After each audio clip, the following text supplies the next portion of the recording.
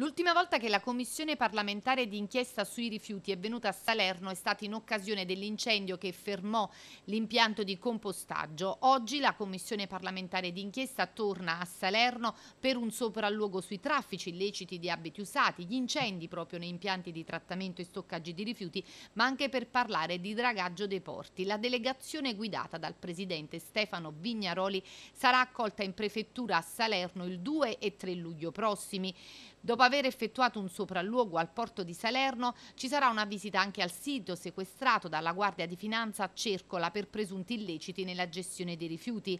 Il 3 luglio l'audizione che si terrà in prefettura dove la commissione ascolterà tra gli altri il comandante della Capitaneria di Porto di Salerno Giuseppe Minna ed il presidente dell'autorità portuale di Salerno Pietro Spirito.